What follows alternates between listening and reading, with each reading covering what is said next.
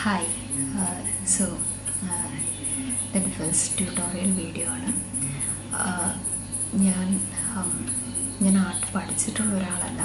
അതുകൊണ്ട് uh, ഞാൻ വളരെ റീസെന്റായിട്ട് പെയിന്റിങ് സ്റ്റാർട്ട് ചെയ്ത ഒരാളാണ്. ഞാൻ യൂട്യൂബ് നോക്കിയാണ് പെയിന്റിങ്സ് അതിന്റെ ടിപ്സ് ട്രിക്സ് അങ്ങനത്തെ കാര്യങ്ങളെല്ലാം പഠിച്ച് ചെയ്യാൻ തുടങ്ങിയത്. അതുകൊണ്ട് uh, ഞാനൊരു പെയിന്റിങ് ക്ലാസ് എന്നല്ല ഉദ്ദേശിക്കുന്നത് എനിക്കറിയാവുന്ന കുറച്ച് കാര്യങ്ങൾ ഞാൻ പറഞ്ഞു തരാം. അപ്പോൾ ഞാൻ കുറച്ച് ടിപ്സ് അതുപോലെ കുറച്ച് ഷോർട്ട് കട്ട് മെത്തേഡ്സ് അങ്ങനത്തെ കുറച്ച് യൂസ്ഫുൾ ആയിട്ടുള്ള കുറച്ച് കാര്യങ്ങൾ ഞാൻ പറഞ്ഞുതരാം. പിന്നെ പിന്നെ ഈ വീഡിയോയിൽ ഞാൻ മെയിൻലി ഉദ്ദേശിക്കുന്ന ബേസിക് ആയിട്ടുള്ള കുറേ കാര്യങ്ങൾ പറഞ്ഞു തരാൻ വേണ്ടിയിട്ടാണ് എപ്പോഴും ആളുകൾ എന്റെ അടുത്ത് ചോദിക്കുന്ന ബിഗ്നേഴ്സ് പെയിന്റിങ് സ്റ്റാർട്ട് ചെയ്യാൻ പോകുന്ന കുറേ ആളുകൾ എന്റെ അടുത്ത് ചോദിക്കുന്ന കുറേ ക്വസ്റ്റ്യൻസ് ആണ്. എങ്ങനത്തെ പെയിന്റാണ് മേടിക്കേണ്ടത്? എങ്ങനത്തെ ആണ് യൂസ് ചെയ്യേണ്ടത്? അങ്ങനത്തെ കുറേ കാര്യങ്ങൾ ബേസിക് ആയിട്ടുള്ള കുറച്ച് കാര്യങ്ങൾ എന്റെ അടുത്ത് ചോദിക്കാറുണ്ട്. അപ്പം ഞാൻ ആർട്ട് ക്ലാസ്സിൽ പോയിട്ടില്ലാത്തതുകൊണ്ട് എനിക്കും സ്റ്റാർട്ടിങ്ങിൽ ഇങ്ങനത്തെ കുറേ ഡൗട്ട് ഉണ്ടായിരുന്നു. എങ്ങനത്തെ പെയിന്റ് മേടിക്കണം? എങ്ങനത്തെ എങ്ങനെയാണ് ക്യാൻവാസ് മേടിക്കേണ്ടത്? എങ്ങനെയാണ് സ്റ്റാർട്ട് ചെയ്യേണ്ടത്? അങ്ങനത്തെ കുറേ കാര്യങ്ങൾ എനിക്ക് മനസ്സിലുണ്ടായിരുന്നു. അപ്പം ഞാൻ അതിനെക്കുറിച്ചൊക്കെ കുറച്ച് ഡീറ്റെയിൽ ആയിട്ട് ഈ വീഡിയോയിൽ പറഞ്ഞുതരാം. പിന്നെ അക്രലിക് പെയിന്റിങ്ങിൽ തന്നെ പല ടൈപ്സ് ഉണ്ട്.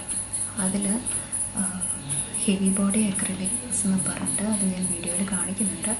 ആ ഹെവി ബോഡി അക്രലിക് എന്ന് പറയുന്നത് തിക്നെസ് കൂടിയ ടൈപ്പ് പെയിന്റാണ് അത് സാധാരണ ഇതിൽ ലൈഫ് പെയിന്റിങ്സിനൊക്കെയാണ് ഉപയോഗിക്കുന്നത്. ഞാൻ നൈഫ് പെയിന്റിങ്ങാണ് ആദ്യം സ്റ്റാർട്ട് ചെയ്തത് അതുകൊണ്ട് എനിക്ക് ഞാൻ ഹെവി ബോഡി അക്രലിക്സ് വെച്ചിട്ടാണ് തുടങ്ങിയത്. അപ്പോൾ സാധാരണ എല്ലാവരും ലൈഫ് പെയിന്റിങ് ഓയിൽ പെയിന്റിൽ വെച്ചിട്ടൊക്കെയാണ് ചെയ്യുന്നത്. ഓയിൽ പെയിന്റ് വെച്ച് ചെയ്യുന്ന ഓയിൽ പെയിന്റിന്റെ തിക്നെസ് കൂടുതലുള്ളതുകൊണ്ട് അത് വെച്ചിട്ടാണ് ചെയ്യുന്നത്. എനിക്ക് ഓയിൽ പെയിന്റ് ചെയ്യാൻ കുറച്ച് ബുദ്ധിമുട്ടാണ്. കാരണം അത് ഫസ്റ്റ് ഓഫ് ഓൾ ഓരോ ലെയർ ബൈ ലെയർ ചെയ്യണം. അത് ഉണങ്ങി ഉണങ്ങി ഉണങ്ങി ചെയ്യണം. അല്ലെങ്കിൽ അത് ആ, ലെയേഴ്സ് അതിനകത്തോട്ട് പിടിക്കില്ല. പിന്നെ അത് ഡ്രൈ ആവാൻ കുറേ ടൈം എടുക്കും. അപ്പോൾ അതുകൊണ്ട് ഞാൻ പൊതുവെ ഓയിൽ പെയിന്റ് ചെയ്യാറില്ല. പിന്നെ ഓയിൽ പെയിന്റ് ഉണങ്ങി സൂക്ഷിക്കാനൊക്കെ കുറച്ച് പാടാണ്. അപ്പോൾ ഒരു സ്റ്റുഡിയോ സെറ്റപ്പ് പോലെയൊക്കെ ഉള്ള ആളുകൾക്കാണെങ്കിൽ കുഴപ്പമില്ല. അത് എവിടെയെങ്കിലും വെച്ച് കഴിഞ്ഞിട്ടുണ്ടെങ്കിൽ അത് അവിടെ ഇരുന്ന് ഉണങ്ങിക്കോളും പക്ഷെ സാധാരണ വീട്ടിലൊരു റൂമായിട്ട് നമ്മൾ ചെയ്യുന്നവർക്ക് കുറച്ച് ബുദ്ധിമുട്ടായിരിക്കും. ഓയിൽ പെയിന്റ് സൂക്ഷിച്ച് വയ്ക്കല ഉണക്കൽ അങ്ങനത്തെ ഒക്കെ കുറച്ച് ബുദ്ധിമുട്ടായിരിക്കും അതിനകത്ത് പൊടി പിടിക്കാനും. അതുപോലെ കുഞ്ഞ് ഈ ഈ വെള്ളത്തിൽ അങ്ങനെയൊക്കെ വന്നിരിക്കുന്ന കുഴിയീച്ചകൾ നനവുള്ള ഭാഗത്തൊക്കെ വന്നിരിക്കുന്നു ആ സാധനമൊക്കെ വന്നിരുന്ന് ചാവാനൊക്കെ ചാൻസ് ഉണ്ട് അപ്പോൾ അത് നമ്മളെടുത്ത് കളയുമ്പോഴേക്കും അത്രയും ഭാഗത്ത് പെയിന്റ് പോകും അപ്പോൾ അങ്ങനത്തെയൊക്കെ കുറേ ബുദ്ധിമുട്ടുള്ളതുകൊണ്ട് ഞാൻ അക്രലിക് പെയിന്റാണ് യൂസ് ചെയ്യുന്നത്. അക്രലിക്കിലെ ഹെവി ബോഡി അക്രലിക്കാണ് ഞാൻ യൂസ് ചെയ്യുന്നത്. പിന്നെ അതിനേക്കാളും കുറച്ചും കൂടെ തിക്നെസ് കുറഞ്ഞത് സാധാ acrylic artistic acrylic paint colours എന്ന് പറഞ്ഞു വരുന്നത്. പിന്നെ അതിനേക്കാളും തിക്നെസ് കുറഞ്ഞതിനാണ് ഫെവിക്രിൽ എന്ന് പറഞ്ഞ് ചെറിയ ബോട്ടിലുകളിൽ വരുന്നത്. അത് ഭയങ്കര ചീപ്പറാണ് പക്ഷേ അത് ഈ ഫാബ്രിക് പെയിന്റിങ് അതുപോലത്തെ കാര്യങ്ങൾക്കാണ് യൂസ് ചെയ്യുന്നത്. ഞാനത് പോർ പെയിന്റിങ് അല്ലെങ്കിൽ ഫ്ലൂയിഡ് അക്രലിക്സ് എന്ന് പറഞ്ഞിട്ടുള്ള ടെക്നിക്കിന് വേണ്ടിയിട്ടാണ് ഞാൻ യൂസ് ചെയ്യുന്നത്. അതിനെക്കുറിച്ചെല്ലാം ഞാനത് ചെയ്യേണ്ട എങ്ങനെ അങ്ങനത്തെ കുറേ ഡീറ്റെയിൽഡായിട്ട് ഞാൻ വീഡിയോസ് ചെയ്ത് കാണിച്ചു തരാം. പിന്നെ അതുപോലെ പിന്നെ പറയുന്നത് പെൻസിൽ പെൻസിൽ ഡ്രോയിങ്സിന്റെ ഡീറ്റെയിൽസ് ഞാൻ പറയുന്നുണ്ട് പെൻസിൽ ഡ്രോയിങ്സ് ബാക്കിയെല്ലാം എനിക്ക് തോന്നുന്നു പെയിന്റ് അക്രലിക് പെയിന്റ്സ് ആണെങ്കിലും ഓയിൽ പെയിന്റ്സ് അതുപോലെ ബ്രഷസ് പിന്നെ നൈഫ്സ് അങ്ങനത്തെ എല്ലാ സാധനങ്ങളാണെങ്കിലും നിങ്ങൾ സെറ്റായിട്ട് മേടിക്കുകയായിരിക്കും കുറച്ചും കൂടെ ലാഭം. ഓരോന്ന് ഓരോന്ന് മേടിക്കുന്ന ഓരോ ബ്രഷുകൾക്കാണെങ്കിലും ഓരോന്ന് മേടിക്കുന്നതിന് റേറ്റ് കൂടുതലുണ്ടാവും. നൈഫ് പെയിന്റിങ്ങിനാണെങ്കിലും ഓരോ നൈഫിനും നല്ല റേറ്റ് ആവും. അപ്പോൾ അതെല്ലാം ഒരു സെറ്റായിട്ട് മേടിക്കുകയാണെങ്കിൽ നമുക്ക് കുറച്ചും കൂടി ചീപ്പറായിട്ട് കിട്ടും. അതിന്റെ എല്ലാത്തിന്റെയും ഡിസ്ക്രിപ്ഷനിൽ ഞാൻ അതിന്റെ ലിങ്ക് ഇട്ടിട്ടുണ്ട്. നിങ്ങൾക്ക് അതിൽ പോയി ചെക്ക് ചെയ്യാൻ വേണമെങ്കിൽ. പിന്നെ പെൻസിൽ പെൻസിൽസ് എനിക്ക് തോന്നുന്നു പെൻസിൽസ് സെപ്പറേറ്റ് ആയിട്ട് മേടിക്കുക ലാഭം എന്ന് എനിക്ക് തോന്നുന്നു. കാരണം ഞാൻ ഫുൾ സെറ്റായിട്ട് മേടിച്ചതിന് എനിക്ക് തോന്നുന്നു ആയിരത്തി അറുന്നൂറ് രൂപ എന്തോ ആയി. അത് നമുക്ക് അത്യാവശ്യം വേണ്ട പെൻസിൽസ് മാത്രമായിട്ട് വേണമെങ്കിൽ സെപ്പറേറ്റ് മേടിക്കാവുന്നതാണ്.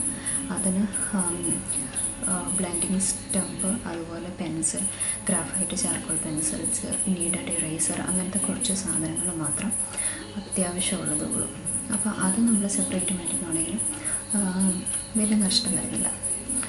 പിന്നെ ഓയിൽ പെയിന്റിങ്ങിന് ഇപ്പം നമ്മൾ ഓയിൽ പെയിന്റിങ് ആണ് സ്റ്റാർട്ട് ചെയ്യാൻ പോകുന്നതെങ്കിൽ ഓയിൽ പെയിന്റിങ്ങിന് അത്യാവശ്യം വേണ്ട സാധനങ്ങൾ എന്തൊക്കെയാണ്? നമ്മൾ യൂട്യൂബിലോ ഗൂഗിളിലോ സെർച്ച് ചെയ്യുകയാണെങ്കിൽ നമുക്കൊരു നീണ്ട ലിസ്റ്റ് കാണാം.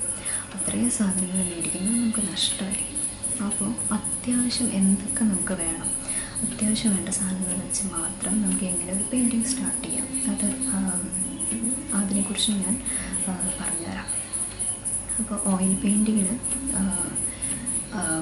ഓഫ് കോഴ്സ് ഓയിൽ പെയിന്റിന്റെ ആ ഒരു സെറ്റ് നമുക്ക് മേടിക്കാം. പിന്നെ ലിൻസീഡ് ഓയിൽ ടോപ്പൻഡൈൻ ടോപ്പൻഡൈൻ ആണെങ്കിലും ഞാൻ നിർബന്ധം പറയില്ല. പിന്നെ നിങ്ങൾക്ക് ബ്രഷസ് അതുപോലെ പാലറ്റ്സ് ക്ലീൻ ചെയ്യാൻ ടോപ്പൻഡൈൻ യൂസ് ചെയ്യുകയാണെങ്കിൽ എളുപ്പമായിരിക്കും. അപ്പോൾ അതുകൊണ്ട് ടോപ്പൻഡൈന് വലിയ വിലയില്ല. ഒരു ചെറിയ ബോട്ടിൽ നൂറ് രൂപ അങ്ങനെ വലിയ വിലയില്ലാത്തൊരു സാധനം. അപ്പോൾ ടോപ്പൻഡൈൻ നിങ്ങൾക്ക് യൂസ് ചെയ്യാം. ലിൻസീഡ് ഓയിൽ ഓയിൽ പെയിന്റ് പിന്നെ ഓയിൽ പെയിന്റിന്റെ ബ്രഷസ് ഉണ്ട്.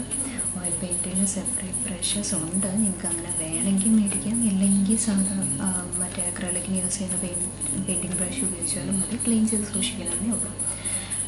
പിന്നെ പാലറ്റിനെ കുറിച്ച് പറയുകയാണെങ്കിൽ ഞാൻ പാലറ്റ് സ്റ്റാർട്ടിങ്ങിൽ ഉപയോഗിച്ചുകൊണ്ടിരുന്ന ഒരാളല്ല. ഞാൻ പാലറ്റ് കുറച്ച് പെയിന്റിങ് സ്റ്റാർട്ട് ചെയ്ത് കുറച്ച് നാൾ കഴിഞ്ഞിട്ടാണ് ഞാൻ പാലറ്റ്സ് യൂസ് ചെയ്യാൻ തുടങ്ങിയത്. ഞാൻ അതുവരെ സാധാ നമ്മുടെ ഈ പേപ്പർ പ്ലേറ്റ്സ് പോലെ ഫോയിലുള്ള ആ പേപ്പർ പ്ലേറ്റ്സാണ് ഞാൻ യൂസ് ചെയ്തുകൊണ്ടിരുന്നത്. അതാണെങ്കിൽ നമുക്കൊരു മൂന്നാൽ പ്രാവശ്യം വരെയൊക്കെ കഴുകി യൂസ് ചെയ്യാം. ഇല്ലെങ്കിൽ നമുക്കത് ഡിസ്പോസ് ചെയ്യുമ്പോൾ കുഴപ്പമില്ല. വലിയ വലിയുള്ള സാധനമല്ല. അപ്പോൾ നമുക്ക് ഡിസ്പോസ് ചെയ്യാം. പിന്നെ എനിക്ക് തോന്നുന്നു. കുറച്ച് പാലറ്റ്സ് മേടിക്കുകയാണെങ്കിലും വലിയ നഷ്ടമില്ല. കാരണം വലിയ വിലയില്ല പാലറ്റ്സിന് ഒരു വലിയ പാലറ്റിനാണെങ്കിൽ എനിക്ക് തോന്നുന്നു നൂറ്റി നൂറ്റമ്പത് രൂപ. അങ്ങനെ തോന്നുമെന്ന് എനിക്ക് തോന്നുന്നു. ഷുവറല്ല പാലറ്റ്സിനെ കുറിച്ച് പാലറ്റ്സിനെ കുറിച്ച് പറയുകയാണെങ്കിലും പാലറ്റ്സ് കുറേ ടൈപ്സ് ഉണ്ട്. അതിനെ എല്ലാത്തിനെയും കുറിച്ച് ഡീറ്റെയിൽ ആയിട്ട് പറഞ്ഞിട്ടുണ്ട്. വാട്ടർ കളറിന്റെ പാലറ്റ്സ് അതുപോലെ ഓയിൽ പെയിന്റിന് അക്രലിക് പെയിന്റിന് എല്ലാത്തിനും ഡിഫറെന്റ് പാലറ്റ്സ് ഉണ്ട്. ഓയിൽ പെയിന്റിന്റെ അക്രലിക് പെയിന്റിന്റെയും സെയിം പാലറ്റ്സ് യൂസ് ചെയ്യാം. പക്ഷേ ഓയിൽ പെയിന്റിന് വേണ്ടിയിട്ട് ഒരു വുഡൻ പാലറ്റ്സ് വരുന്നുണ്ട്. അത് അക്രലിക് പെയിന്റിങ്ങിന് യൂസ് ചെയ്യാൻ പറ്റില്ല. എന്നാൽ അക്രലിക് പെയിന്റിങ് മറ്റേ സാധാ വെള്ള അല്ലെങ്കിൽ ട്രാൻസ്പാരന്റ് ആയിട്ടുള്ള പാലറ്റ്സ് വരുന്നുണ്ട്. അതിനകത്ത് ഓയിൽ പെയിന്റും യൂസ് ചെയ്യാൻ കുഴപ്പമില്ല. വുഡൻ പാലറ്റ്സിൽ മാത്രം അക്രലിക് പെയിന്റിങ് യൂസ് ചെയ്യാൻ പറ്റില്ല കാരണം നമ്മൾ അക്രലിക് പെയിന്റിന് മീഡിയമായിട്ട് യൂസ് ചെയ്യുന്നത് വെള്ളമാണ്. അപ്പോൾ വെള്ളം യൂസ് ചെയ്യുമ്പോൾ ഈ വുഡൻ പാലറ്റ്സ് ആകുമ്പോഴേക്കും അതിന്റെ വെള്ളം അതിനകത്തോട്ട് അബ്സോർബ് ആയി പോകും. അപ്പോൾ അന്നേരം നമ്മുടെ ഉദ്ദേശിക്കുന്ന കൺസിസ്റ്റൻസി കിട്ടില്ല നമുക്ക് ക്യാൻവാസിൽ പെയിന്റ് ചെയ്യാൻ കുറച്ച് പാടായിരിക്കും. അതിനെക്കുറിച്ച് എല്ലാത്തിനെയും കുറിച്ച് ഞാൻ ഡീറ്റെയിൽ ആയിട്ട് ഇതിനകത്ത് പറയുന്നുണ്ട്. ഓരോ ബാലൻസ് കാണിച്ച് ഞാൻ എക്സ്പ്ലെയിൻ ചെയ്യുന്നുണ്ട്. പിന്നെ ക്യാൻവാസസ് ആണെങ്കിലും ഡിഫറെന്റ് ടൈപ്സ് ഉണ്ട്. അതിനെക്കുറിച്ച് എല്ലാത്തിനെയും കുറിച്ച് ഞാൻ പറയുന്നുണ്ട്. അപ്പോൾ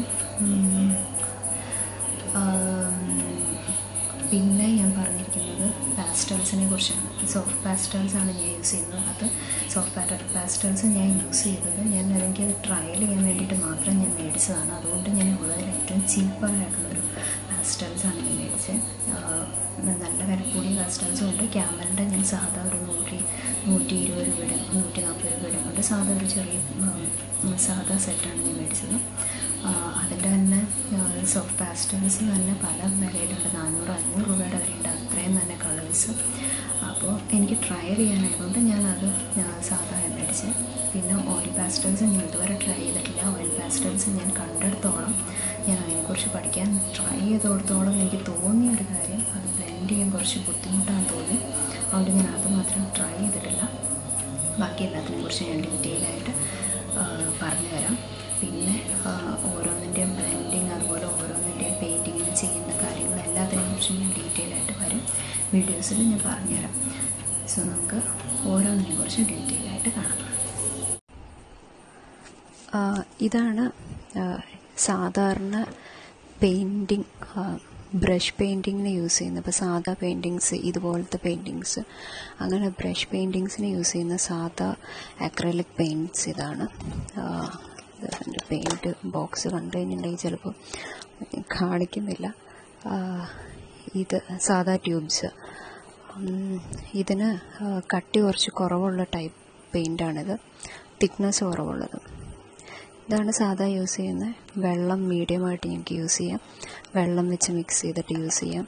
പിന്നെ ഈ ഈ ഒരു ബോക്സിനകത്ത് ഇത് ക്യാമലിന്റെ ബോക്സാണ് ഈ ഒരു ബോക്സിനകത്ത് ഈ റിട്ടാർഡർ മീഡിയം എന്ന് പറഞ്ഞ ഒരു രണ്ട് മീഡിയം ഉണ്ട് അതിനകത്ത്. അത് ഒരെണ്ണം ജെൽ മീഡിയം പിന്നെ ഒരെണ്ണം റിട്ടാർഡർ മീഡിയം ഈ സാധനം യൂസ് ചെയ്യുന്നത് എന്തിനാന്ന് വെച്ചാൽ ഇത് ഇട്ട് മിക്സ് ചെയ്യുവാണെങ്കിൽ ഡ്രൈയിങ് ടൈം കുറച്ചും കൂടെ കൂടുതൽ കിട്ടും. ഇപ്പോൾ അക്രിലിക് പെയിന്റ് സാധാരണ വേഗം ഡ്രൈ ആയി പോകും. വേഗം ഡ്രൈ ആയി പോകുന്നതുകൊണ്ട് അതിനകത്ത് നമ്മൾ ചെയ്യുന്ന പെയിന്റിങ്ങിന് കൂടുതൽ ഡീറ്റെയിലിങ്സ് കൊടുക്കാൻ കുറേ ബുദ്ധിമുട്ടായിരിക്കും. ഇപ്പം ഫോർ എക്സാമ്പിൾ ഞാൻ കാണിച്ചു തരാം. ഫോർ എക്സാമ്പിൾ ഈ ഒരു പെയിന്റിങ് ഈ പെയിന്റിങ് ഞാൻ ചെയ്തിരിക്കുന്ന അക്രലിക് അക്രലിക് വെച്ചിട്ടാണ്. അക്രലിക് ഈ സാധാ പെയിന്റ് വെച്ചിട്ടാണ് യൂസ് ചെയ്തിരിക്കുന്നത്. ഇതിനകത്ത് നമുക്ക് ഡീറ്റെയിൽ ആയിട്ട് നോക്കിക്കഴിഞ്ഞാൽ കാണും. ഈ ഈ ലൈൻസിന് ക്ലാരിറ്റി കുറവാണ് ഇടയ്ക്കിടയ്ക്ക് വിട്ട് വിട്ട് പോകുന്നു. അതെന്തുകൊണ്ടാണെന്ന് വെച്ചാൽ അത് പെട്ടെന്ന് ഡ്രൈ ആവുന്ന മീഡിയം ആയതുകൊണ്ടാണ് നമ്മൾ അക്രലിക് പെയിന്റ് വെച്ച് ചെയ്യുമ്പോൾ വേഗം ഡ്രൈ ആയി പോകുന്നതുകൊണ്ട് ഡീറ്റെയിലിങ്സ് കൊടുക്കാനുള്ള ബുദ്ധിമുട്ടുണ്ടാവും. എന്നാൽ ഓയിൽ പെയിന്റ് യൂസ് ചെയ്യുമ്പോൾ ഇതുപോലെ ഈ ഒരു ഈ ഒരു ഗ്യാപ്പ് വരില്ല. ഓയിൽ പെയിന്റിൽ ഓയിൽ കൂടുതൽ വരുന്നതുകൊണ്ട് അത് നല്ല സ്മൂത്തായിട്ട് പോകും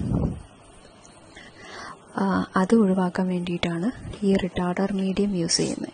ഈ ജെല്ല് മിക്സ് ചെയ്ത് കഴിഞ്ഞിട്ടുണ്ടെങ്കിൽ ഡ്രൈയിങ് ടൈം കുറച്ചും കൂടെ കൂടുതൽ കിട്ടും. അപ്പോൾ ഡീറ്റെയിലിംഗ് കൊടുക്കാനായിട്ട് കുറച്ചും കൂടെ എളുപ്പമായിരിക്കും പിന്നെ നെക്സ്റ്റ് ഞാൻ പറയാൻ പോകുന്നത് ഇതിപ്പോൾ സാധാ അക്രലിക് അക്രലിക്കിന്റെ തന്നെ ഇപ്പം നമ്മൾ കൂടുതൽ യൂസ് ചെയ്യുന്നത് ഇപ്പോൾ എന്റെയിലാണെങ്കിൽ ഞാൻ കൂടുതൽ യൂസ് ചെയ്യുന്നത് വൈറ്റും ബ്ലാക്കും അപ്പോൾ അതിന്റെ ആണെങ്കിൽ ഞാൻ വലിയ ട്യൂബ്സ് ഇത് വൈറ്റിന്റെ അഞ്ഞൂറ് എം എല്ലിന്റെ വലിയ ക്യാന ഇതും അതുപോലെ വൺ ട്വന്റി എം എല്ലിന്റെ ട്യൂബ്സ് ഞാൻ കൂടുതൽ യൂസ് ചെയ്യുന്ന പെയിൻസിനല്ല ഞാൻ ഇങ്ങനത്തെ വലിയ ട്യൂബ്സാണ് മേടിക്കുന്നത് ഇതിപ്പോൾ ഇതെനിക്ക് തോന്നുന്നു ഇരുപത് എം എല്ലോ ആ twenty M L twenty M L ഉള്ളൂ ഇത്. അപ്പോൾ ഇത് വേഗം തീർന്നു അതുകൊണ്ട് ഇത് ഞാൻ ഫസ്റ്റ് ടൈം ട്രയലിന് വേണ്ടി മേടിച്ച ബോക്സാണ് അപ്പോൾ അതുകൊണ്ട് ഞാൻ കുറച്ച് ചെറിയ ചെറിയതായിട്ട് നോക്കി മേടിച്ചെന്നേ ഉള്ളൂ. അതിനകത്ത് ഞാൻ തീരുമ്പോൾ തീരുമ്പോൾ ഞാൻ കൂടുതലായിട്ട് യൂസ് ചെയ്യുന്നതിന് എല്ലാത്തിനും ഇത്രയും വലിയ ട്യൂബ്സും അതുപോലെ കുറവ് യൂസ് ചെയ്യുന്നതിന് ഞാൻ കുറവ് യൂസ് ചെയ്യുന്നതിന് ഞാൻ ഇതുപോലത്തെ ചെറിയ ട്യൂബ്സ് കൊടുക്കും. അക്രലിക് പെയിന്റിങ്സ് ഉണ്ട്. ഒരെണ്ണം ഇതുപോലെ നോർമൽ നോർമലായിട്ട് ബ്രഷ് യൂസ് ചെയ്ത് ചെയ്യുന്നത്. Second one knife painting knife പെയിന്റിങ്ങിന്റെ സാമ്പിളൊന്നും ഇപ്പം എന്റെ കയ്യിലില്ല. ഞാനത് ഫോട്ടോ ഇടാം. പിന്നെ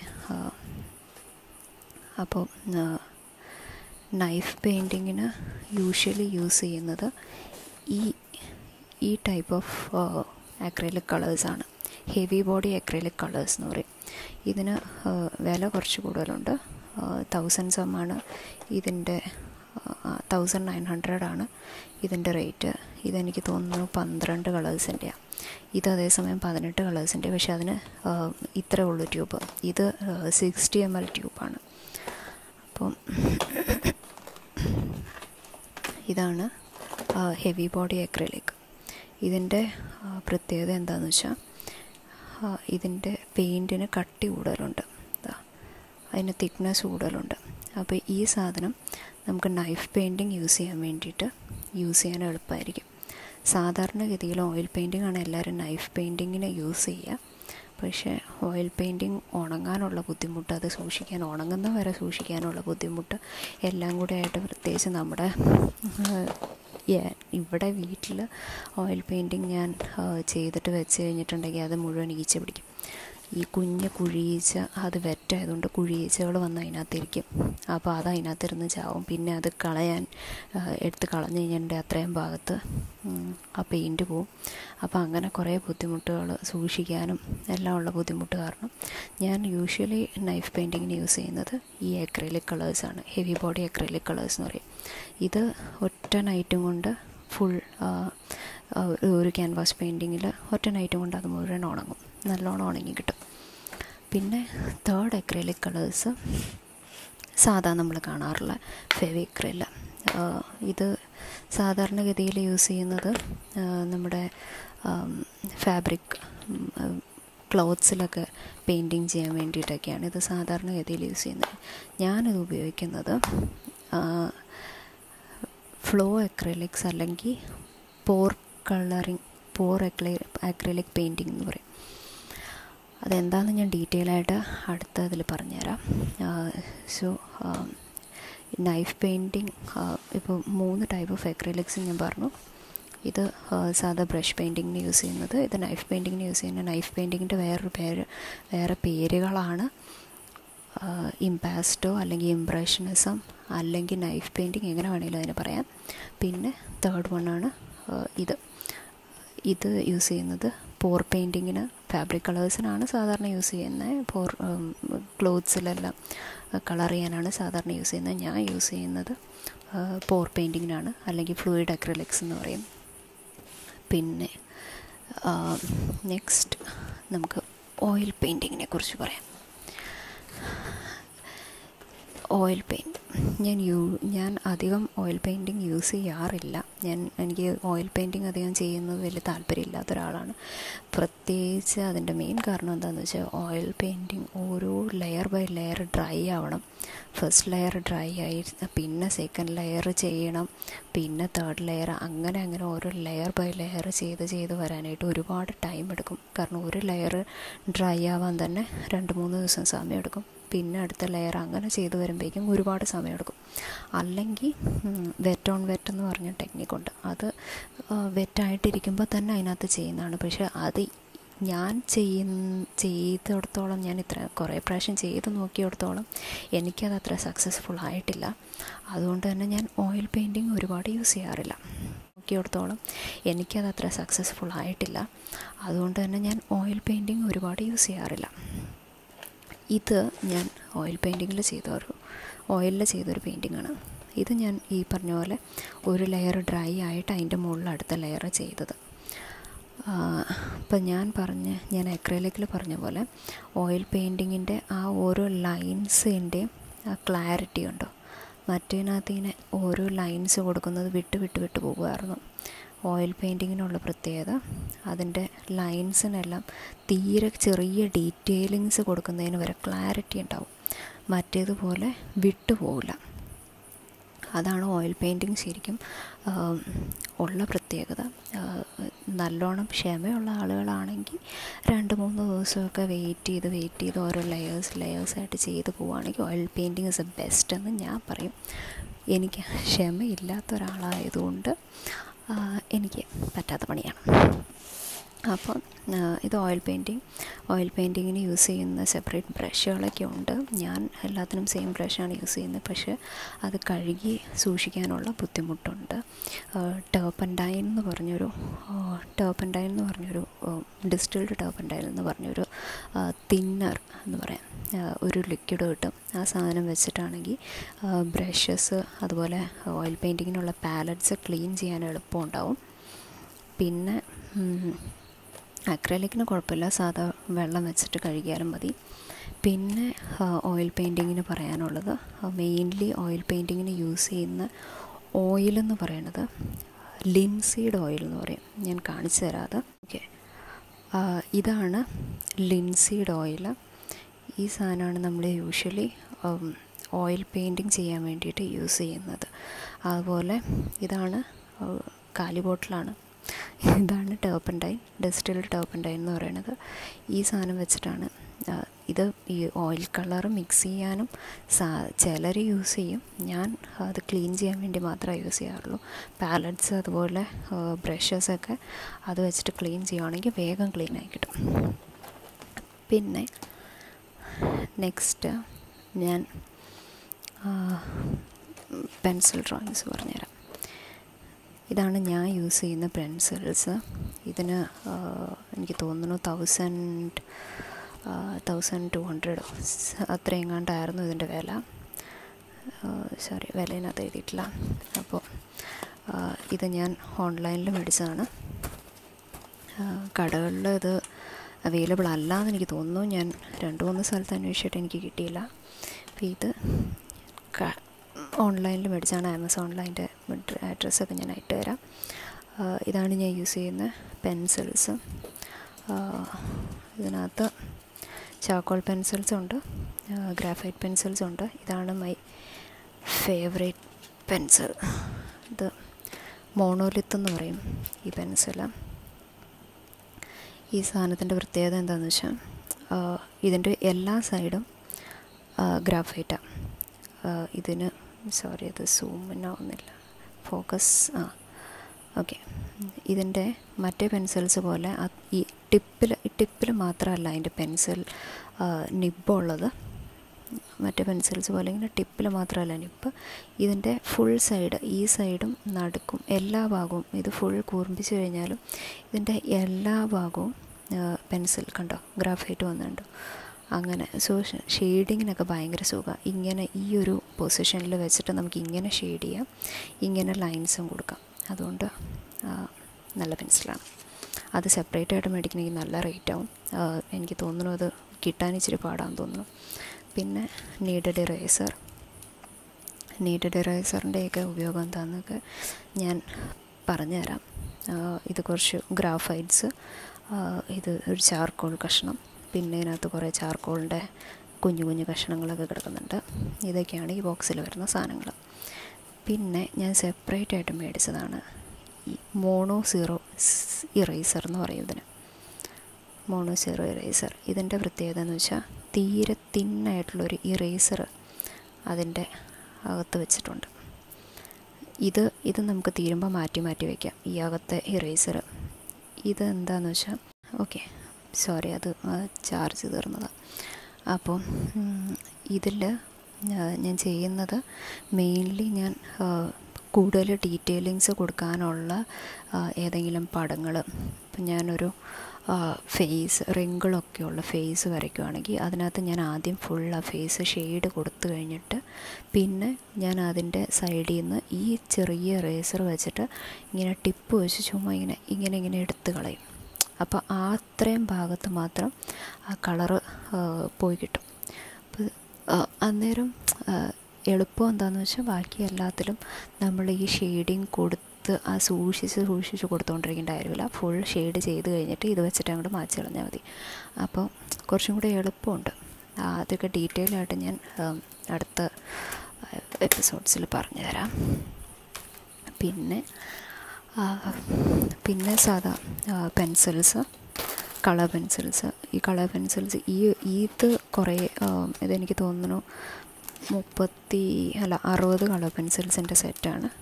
ഇത് പ്രിസ്മ കളറിന്റെയാണ്. ഇതിന് നല്ല റേറ്റാണ് രണ്ടായിരത്തി എത്രയോ ആണ് ഇത് ഓൺലൈനിൽ.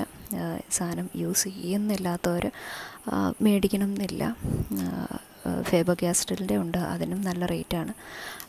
പെൻസിൽസ് യൂസ് ചെയ്യാൻ ഇഷ്ടമുള്ളവർ എനിക്ക് പേഴ്സണലി എനിക്ക് തോന്നിയ ഒരു കാര്യം വാട്ടർ കളർ പെൻസിൽസ് യൂസ് ചെയ്യുകയാണെങ്കിൽ കുറച്ചും കൂടെ എളുപ്പമുണ്ട്. ബ്ലെൻഡിങ്ങിനും എല്ലാത്തിനും കുറച്ചും കൂടെ എളുപ്പമുണ്ട്. പക്ഷേ വാട്ടർ കളർ പെൻസിൽസ് യൂസ് ചെയ്ത ആളുകൾ അത് താല്പര്യമില്ല അത് ഇഷ്ടമല്ല എന്നാണ് പറഞ്ഞിരിക്കുന്നത് ഞാനത് യൂസ് ചെയ്തിട്ടില്ല. അതുകൊണ്ട് എനിക്ക് വലിയ ഐഡിയ ഇല്ല. ഈ പെൻസിൽസ് ഞാൻ ട്രൈ ചെയ്തിടത്തോളം ബ്ലെൻഡിങ്ങിനും ബാക്കി എല്ലാത്തിനും കുറച്ച് പാടാണ്. ചിലപ്പോൾ കാരണം ഞാനിങ്ങനെ പെയിന്റിങ് ഫസ്റ്റ് സ്റ്റാർട്ട് ചെയ്ത് കഴിഞ്ഞിട്ട് പെൻസിൽസ് ചെയ്തത് കൊണ്ടായിരിക്കാം എനിക്കറിയില്ല. പെൻസിൽസ് നല്ല റിയലിസ്റ്റിക് ആയിട്ട് ചെയ്യുന്ന ആളുകളുണ്ട്. ഞാൻ ചെയ്ത് നോക്കിയെടുത്തോളം എനിക്കിത് ബ്ലെൻഡ് ചെയ്യാൻ ഇച്ചിരി പാടായിട്ട് തോന്നിയിട്ടുണ്ട്. പിന്നെ next one soft pastels soft pastels ഉണ്ട് ഓയിൽ പാസ്റ്റൽസ് ഉണ്ട്. ഓയിൽ പാസ്റ്റൽസ് പൊതുവേ ബ്ലെൻഡ് ചെയ്യാൻ കുറച്ച് ടഫാണെന്നാണ് ഞാൻ കേട്ടിരിക്കുന്നത്. സോഫ്റ്റ് പാസ്റ്റൽസ് വെച്ച് ഞാൻ ചെയ്തിരിക്കുന്ന ഒരു പടം ഞാൻ കാണിച്ചു തരാം. ഓയിൽ പാസ്റ്റൽസ് വെച്ച് ബ്ലെൻഡ് ചെയ്യാൻ കുറച്ച് പാടാണെന്ന് ഞാൻ കേട്ടിട്ടുണ്ട്. അതുകൊണ്ട് ഞാൻ സോഫ്റ്റ് പാസ്റ്റൽസ് ആണ് മേടിച്ചത്. ഫസ്റ്റ് ട്രൈ ചെയ്യാൻ വേണ്ടിയിട്ട് മാത്രം ഞാൻ മേടിച്ചതാണ് അപ്പോൾ ഇതിന് എനിക്ക് തോന്നുന്നു നൂറ്റി നാൽപ്പത് രൂപയോ അങ്ങനെ എന്തോ ഉണ്ടായിരുന്നുള്ളൂ ക്യാമലിന്റെന് ഇതിനകത്ത് ഇത്രയും കളേഴ്സുണ്ട് ഞാൻ വലിയ കാര്യമായിട്ട് യൂസ് ചെയ്തിട്ടില്ല. ഒന്ന് രണ്ട് പടം കണ്ട ചെയ്തിട്ടുള്ളൂ. അതുകൊണ്ട് പുതിയതുപോലെ തന്നെ ഇരിക്കുന്നത് ഇതിനകത്ത് ഇത് സാധാ ഒരു ചോക്ക് കഷ്ണം പോലെ ഇരിക്കുന്നത് പിടിച്ചു കഴിഞ്ഞാൽ തന്നെ കയ്യിലെല്ലായിടത്തും ആവും. സാധാ ചോക്ക് കഷ്ണം പോലെ തന്നെ ഇരിക്കുന്നത് അതുപോലെ ഇത് പെയിന്റ് ചെയ്യാനാണെങ്കിലും ഭയങ്കര എളുപ്പം. ഇത് വെച്ചിട്ട് ചുമ്മാ വരച്ചിട്ട് നമുക്ക് എവിടേക്ക് ഈ കളർ വേണോ അത് ജസ്റ്റ് വരച്ചിട്ട് നമ്മുടെ കൈ കൊണ്ട് തന്നെ വിരലും കൊണ്ട് തന്നെ റബ്ബ് ചെയ്ത് റബ്ബ് ചെയ്ത് നമുക്കത് ബ്ലെൻഡ് ചെയ്ത് ചേർക്കാം. അത് എനിക്ക് പൊതുവേ ബാക്കിയെല്ലാം ചെയ്തതിൽ വെച്ചിട്ട് എനിക്ക് സോഫ്റ്റ് പാസ്റ്റൽസ് ചെയ്യാൻ ഭയങ്കര എളുപ്പമായിട്ട് തോന്നി. പിന്നെ ഇതൊരു നീഡഡ് ഇറേസറാണ് അത് എന്റെ കയ്യിൽ ഞാൻ സെപ്പറേറ്റ് കിടന്നതാണ് ചുമ്മാ കാണിച്ചതേ ഉള്ളൂ. ഇതിങ്ങനെ നീഡഡ് ഇറേസർ നമ്മൾ ഇതിനകത്ത് കണ്ട ഇറേസർ അത് നമുക്ക് പല ഷേപ്പിലാക്കാം ഇപ്പോൾ സാധാരണ എല്ലാവരും ചെയ്യുന്നത് ഇതിങ്ങനെ ടിപ്പ് നല്ല ഷാർപ്പ് ഇങ്ങനെ പോയിന്റഡ് ആക്കി വെച്ചിട്ട് അത് വെച്ചിട്ട് നമ്മൾ ഇപ്പോൾ ഇതിനകത്ത് നമ്മൾ നല്ലോണം ഷെയ്ഡ് ചെയ്ത് വെച്ചേക്കുവാണെങ്കിൽ അതിനകത്ത് നമുക്ക് എവിടെയാണോ വൈറ്റ് വേണ്ടത്. ആ ഏരിയയിൽ മാത്രം ഇങ്ങനെ ജസ്റ്റ് ഒന്ന് കുത്തി കൊടുത്തു കഴിഞ്ഞിട്ടുണ്ടെങ്കിൽ അത്രയും ഭാഗത്തെ ആ ഷെയ്ഡിങ് പോയി കിട്ടും. ആ പെൻസിൽസ് ഇതിനകത്തോട്ട് പിടിക്കുക അത്രേ ഉള്ളൂ. പിന്നെ ഞാൻ കുറച്ച് ബ്രഷസ് കാണിച്ചു തരാം. ഡീറ്റെയിൽ ആയിട്ട് ഞാൻ പിന്നെ പറഞ്ഞുതരാം. ഇതാണ് ഞാൻ യൂസ് ചെയ്യുന്ന നൈഫ് നൈഫ് പെയിന്റിങ്ങിന് യൂസ് ചെയ്യുന്ന നൈഫ്സാണ് ഇതൊക്കെ.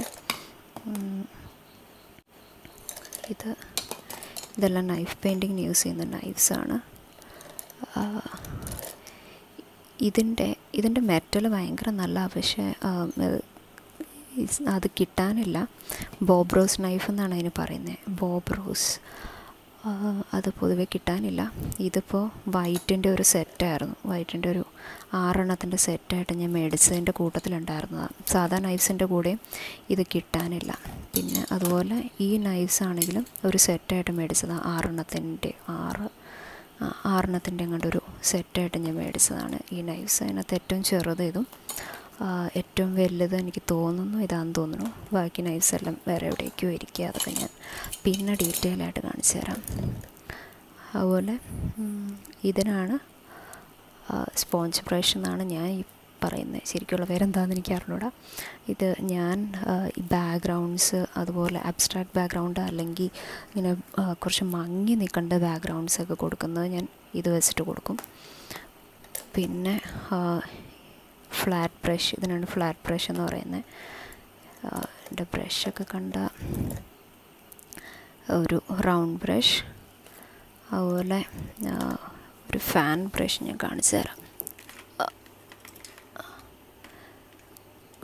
ഒരുപാട് യൂസ്ഫുൾ ആയിട്ടുള്ളൊരു ബ്രഷാണ് ഇത്.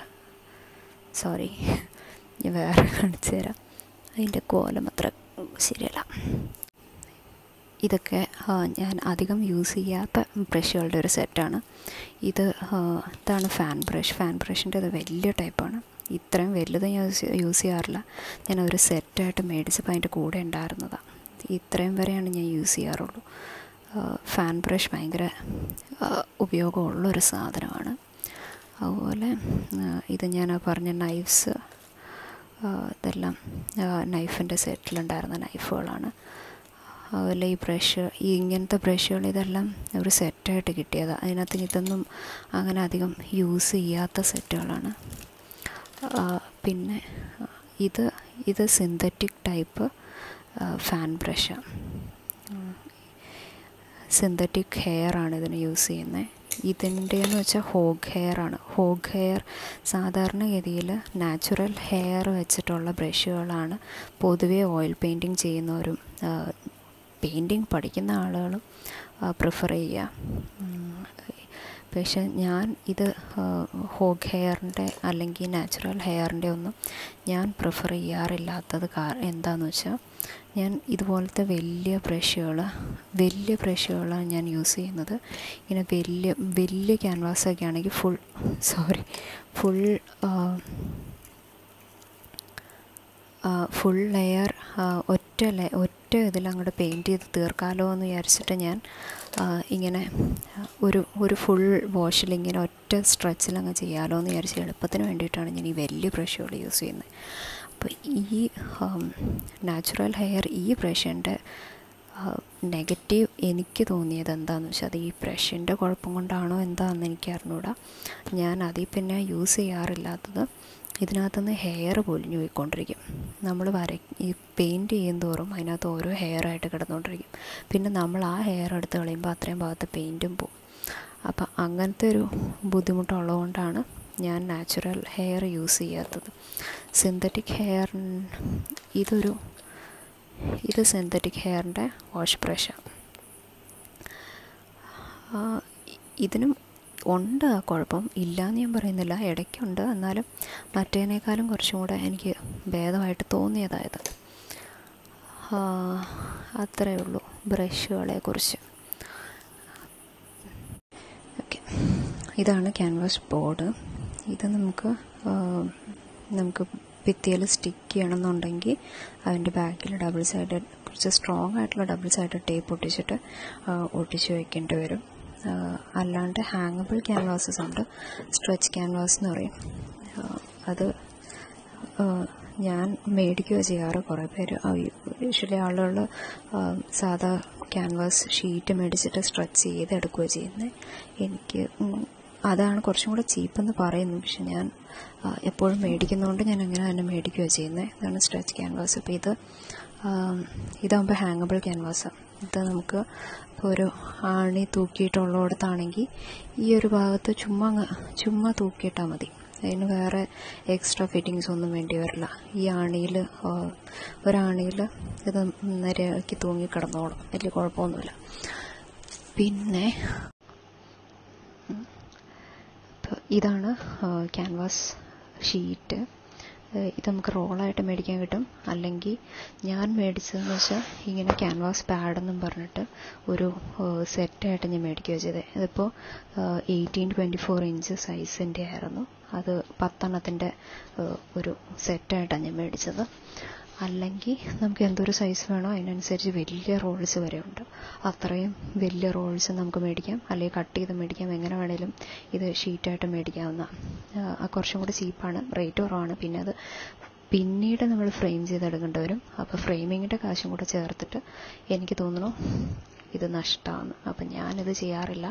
ഞാൻ എപ്പോഴും സ്ട്രെച്ച് ക്യാൻവാസാണ് മേടിക്കാറ്. കാരണം ഞാൻ ഇത് കൊടുക്കുന്ന ആളുകളെല്ലാവരും എന്റെ അടുത്ത് ഞാൻ നേരത്തെ ആദ്യം കൊടുത്തുകൊണ്ടിരുന്നത് ഇതുപോലത്തെ സ്റ്റിക്കിംഗ് ക്യാൻവാസ് ആയിരുന്നു അപ്പോൾ ഇത് കൊടുക്കുന്നവർ ഭിത്തിയിൽ പെയിന്റ് പോവും. ഇത് ഇളകി പോയി കഴിഞ്ഞിട്ട് ഭിത്തിയിൽ പെയിന്റ് പോകും എന്നൊക്കെ കംപ്ലയിന്റ്സ് പറയുന്നതുകൊണ്ട് ഞാൻ സ്ട്രെച്ച് ക്യാൻവാസ് ആക്കി അപ്പോൾ എല്ലാവർക്കും ഹാങ്ങബിൾ ക്യാൻവാസിനോട് താല്പര്യമുള്ളൂ.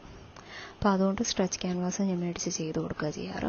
പിന്നെ ഫ്രെയിമിംഗ് വേണമെന്ന് നിർബന്ധം പറയുന്ന ആളുകൾക്ക് മാത്രം ഞാൻ ഇതുപോലെ ഷീറ്റിൽ ചെയ്തിട്ട് ഫ്രെയിം ചെയ്ത് കൊടുക്കുക ചെയ്യുന്നത് പിന്നെ ദൂരേക്കുള്ള ഇതൊക്കെ ആണെങ്കിൽ കൊറിയർ ചെയ്യാനുള്ള ബുദ്ധിമുട്ട് കാരണം ഇതിങ്ങനെ തന്നെ റോൾ ചെയ്ത് കൊറിയർ ചെയ്ത് കൊടുക്കും. അതാകുമ്പോഴേക്കും ഭയങ്കര ചീപ്പാണ് റേറ്റ് കുറവാണ് വെയിറ്റ് ഇല്ലാത്തതുകൊണ്ട് അപ്പോൾ അത് ഏത് സൈസിൽ വേണമെങ്കിലും നമുക്ക് ഷീറ്റ് കട്ട് ചെയ്ത് മേടിക്കാവുന്നതാണ്. അത്രേ ഉള്ളൂ. അടുത്തത് പാലറ്റ്സിനെ കുറിച്ചും കൂടെ ഞാൻ പറയാം. എന്റെ പാലറ്റ്സ് ക്ലീൻ അല്ലാത്തതുകൊണ്ട് ഞാൻ ഫോട്ടോയിൽ കാണിച്ചു തരാം. ഇത് ഈ ഈ ഒരു ടൈപ്പ് എന്ന് പറയുന്നത് വാട്ടർ കളറിന് യൂസ് ചെയ്യുന്ന പാലറ്റ്സ് ആണ്. ഇതിനകത്ത് കളേഴ്സ് ഇങ്ങനെ കോളം കോളമായിട്ട് കിടക്കുന്നതാണ് വാട്ടർ കളറിന് യൂസ് ചെയ്യുന്ന കളേഴ്സ് ഇവിടെ മിക്സ് ചെയ്യാൻ വേണ്ടിയിട്ടുള്ളത്.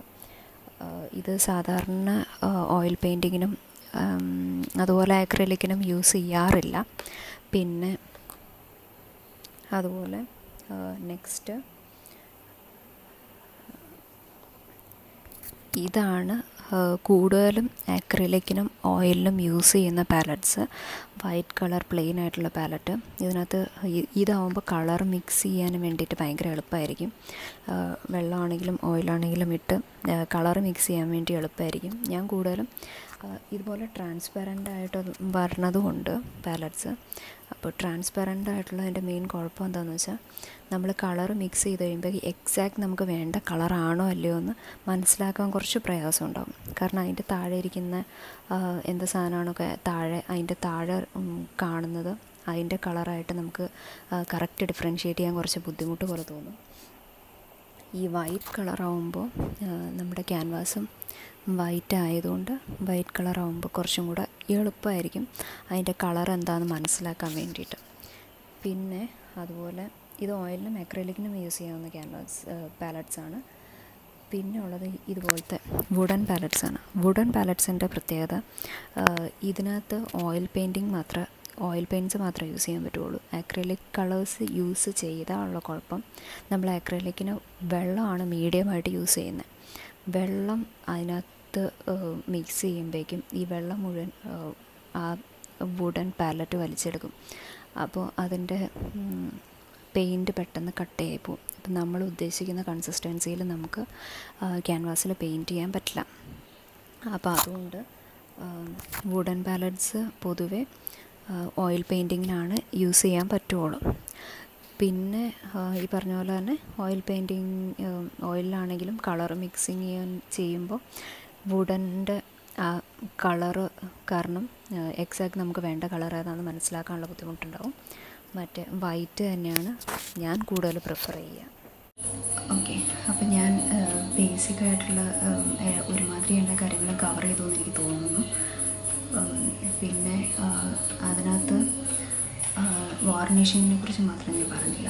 വാർണിഷിങ്ങിനെ കുറിച്ച് പറഞ്ഞിട്ടുണ്ടെങ്കിൽ അക്രലിക് പെയിന്റിങ് വാർണിഷ് ചെയ്തില്ലെങ്കിലും വലിയ പ്രോബ്ലം ഇല്ല. കാരണം അത് ഒന്നാമത് അതിനൊരു ഗ്ലേസിങ് ഉണ്ട്. ആ ഒരു ഗ്ലേസിങ്ങിൽ വലിയ കുഴപ്പമില്ലാണ്ട് നിന്നോളം ബോഡി പിടിക്കലാണെങ്കിലും ക്ലീൻ ചെയ്യാൻ വലിയ ബുദ്ധിമുട്ടില്ല അക്രലിക് പെയിന്റിങ്ങിന് ഓയിൽ പെയിന്റിങ്ങിന് വാർണിഷ് യൂസ് ചെയ്തില്ലെങ്കിലുള്ള കുഴപ്പമില്ലാന്ന് വെച്ചാൽ അതിനകത്ത് പെട്ടെന്ന് പൂപ്പൽ പിടിക്കും. അപ്പോൾ ഈ പൂപ്പൽ പിടിക്കാണ്ടിരിക്കാനും പിന്നെ പൊടി പിടിക്കാണ്ട് സൂക്ഷിക്കാനൊക്കെ ഓയിൽ പെയിന്റിങ് വാർണിഷ് ചെയ്യുന്നത് നല്ലതാണ് അക്രലിക് പെയിന്റിങ് വാർണിഷ് ചെയ്യും ചെയ്യില്ല എന്നല്ല ചെയ്തില്ലെങ്കിലും കുഴപ്പമില്ല എന്നാണ് പിന്നെ ഓയിൽ പെയിന്റ് പൊതുവെ വാർണിഷ് ചെയ്യുന്നതിന്റെ മെയിൻ റീസൺ ഈ പൂപ്പൽ പിടിക്കുന്നത്. നമ്മുടെ ക്ലൈമറ്റിൽ പ്രത്യേകിച്ച് അതിന്റെ പൂപ്പൽ പിടിക്കാനുള്ള ചാൻസ് കൂടുതലായതുകൊണ്ടാണ് അത് വാർണിഷ് ചെയ്ത് സൂക്ഷിക്കുന്നത്. പിന്നെ വാർണിഷ് ചെയ്യുന്നത് വാർണിഷ് സ്പ്രേ ഉണ്ട്. അല്ലെങ്കിൽ ഒരു ചെറിയ ബോട്ടിലിൽ വാർണിഷ് ലിക്വിഡ് എന്ന് പറഞ്ഞ് കിട്ടും. അത് വാർണിഷ് സ്പ്രേ ആണ് കുറച്ചും കൂടെ ബിഗിനേഴ്സിനാണെങ്കിലും യൂസ് ചെയ്യാൻ കുറച്ചും കൂടെ എളുപ്പം വാർണിഷ് സ്പ്രേ ആണ്.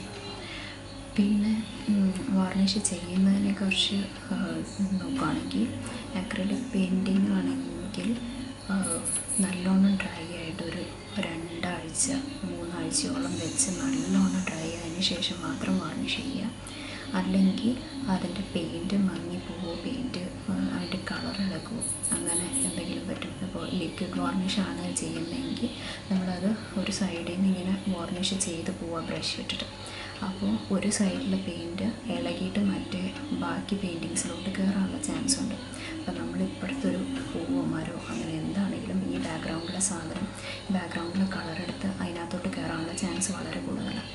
അതുപോലെ സ്പ്രേ പെയിന്റിങ് ചെയ്താലും സ്പ്രേ പെയിന്റിങ് സ്പ്രേ ചെയ്യുന്ന സ്ഥലങ്ങളിൽ ആ കളർ മങ്ങിപ്പോയിക്കൊണ്ടിരിക്കും അതുകൊണ്ട് നല്ലോണം ഡ്രൈ ആയതിനു ശേഷം മാത്രം വാർണിഷ് ചെയ്യുക. ടു ടു ത്രീ വീക്സ് അല്ലെങ്കിൽ മാക്സിമം ടു വീക്സ് അത് കഴിയുമ്പോഴേക്കും നിങ്ങൾക്ക് വേണമെങ്കിൽ വാർണിഷ് ചെയ്യാം. അതുപോലെ ഓയിൽ പെയിന്റ് നമ്മൾ ഗൂഗിളിലോ യൂട്യൂബിലോ എവിടെ സെർച്ച് ചെയ്താലും ഓയിൽ പെയിന്റിങ് വാർണിഷ് ചെയ്യുന്നത് സിക്സ് മന്ത്സിന് ശേഷം അവർ എഴുതിയിട്ടുണ്ടാവും. അതുപോലെ അക്രലിക് പെയിന്റും എനിക്ക് തോന്നുന്നു ഒരു മാസത്തിന് ശേഷം എന്ന് എഴുതിയിരിക്കുന്നതെന്ന് തോന്നുന്നു. ഞാൻ രണ്ടാഴ്ച കഴിഞ്ഞിട്ട് ചെയ്തിട്ടുണ്ട്. അതിൽ പ്രോബ്ലം ഒന്നും വന്നിട്ടില്ല. അതുപോലെ ഓയിൽ പെയിന്റ് ആണെങ്കിലും സിക്സ് മന്ത്സിന് ശേഷം മാത്രം വാർണിഷ് ചെയ്യാമെന്നാണ് എഴുതിയിരിക്കുന്നത്. ഞാൻ മാക്സിമം എങ്ങനെയാണ് കൊടുക്കുന്നത് കൊണ്ട് അത്രയും നാൾ വെയിറ്റ് ചെയ്യിക്കാൻ പറ്റില്ലാത്തതുകൊണ്ട് ഞാൻ മാക്സിമം എനിക്ക് അറിയുന്ന ആളുകളുടെ അടുത്താണെങ്കിൽ മാത്രം ഞാൻ പറഞ്ഞിട്ട് കൊടുക്കും. വാർണിഷ് ചെയ്തിട്ടില്ല. ഇത്രയും നാൾ കഴിയുമ്പോഴേക്കും ഞാൻ വാർണിഷ് ചെയ്ത് തരാമെന്ന് പറഞ്ഞിട്ട് കൊടുക്കും. അല്ലാത്ത ആളുകൾക്കാണെങ്കിൽ ഞാൻ കുറച്ച് നാൾ വെയിറ്റ് ചെയ്തൊരു ഒന്നര മാസം മാക്സിമം ഒന്നര മാസത്തോളം ഞാൻ വെച്ചിട്ട് അത് വാർണിഷ് ചെയ്ത് കൊടുത്തിട്ടുണ്ട്. അന്നേരം അങ്ങനെ കുഴപ്പമൊന്നും വന്നിട്ടില്ല. അപ്പോൾ പിന്നെ പിന്നെ പെൻസിൽ ഡ്രോയിങ്സ് ആണെങ്കിലും അതുപോലെ സോഫ്റ്റ് പാസ്റ്റേൺസ് ആണെങ്കിലും വാർണിഷല്ല ചെയ്യുന്നത്. നമ്മളതിന് ഫിക്സേറ്റീവാണ് അടിക്കുന്നത് ഈ വാർണിഷിന്റെ ഇതുപോലെ തന്നെ ഒരു ഫിക്സേറ്റീവ് എന്ന് പറഞ്ഞൊരു സ്പ്രേ കിട്ടും അതടിച്ച് കഴിഞ്ഞിട്ടുണ്ടെങ്കിൽ പെൻസിൽ ഡ്രോയിങ്സ് സോഫ്റ്റ് പാസ്റ്റൽസ് ആണെങ്കിൽ നമ്മൾ അത് ചെയ്ത് കഴിഞ്ഞിട്ട് അതിനകത്ത് ഇങ്ങനെ തൊടുന്ന ഭാഗത്ത് നല്ല കളർ വന്നുകൊണ്ടിരിക്കും. കളർ ഇളകി പോകുന്നുകൊണ്ടിരിക്കും അപ്പോൾ അങ്ങനെ കളർ ഇളകി പോരാണ്ടിരിക്കാൻ വേണ്ടിയിട്ട് അത് അവോയ്ഡ് ചെയ്യാൻ വേണ്ടിയിട്ട് മാത്രം നമ്മൾ ഫിക്സേറ്റീവ് അടിച്ചു കൊടുക്കും. ഫിക്സേറ്റീവ് അടിച്ചു കൊടുത്തിട്ടുണ്ടെങ്കിൽ ആ കളർ അതിനകത്തോട്ട് ഒട്ടിയിരുന്നോളും. നമ്മൾ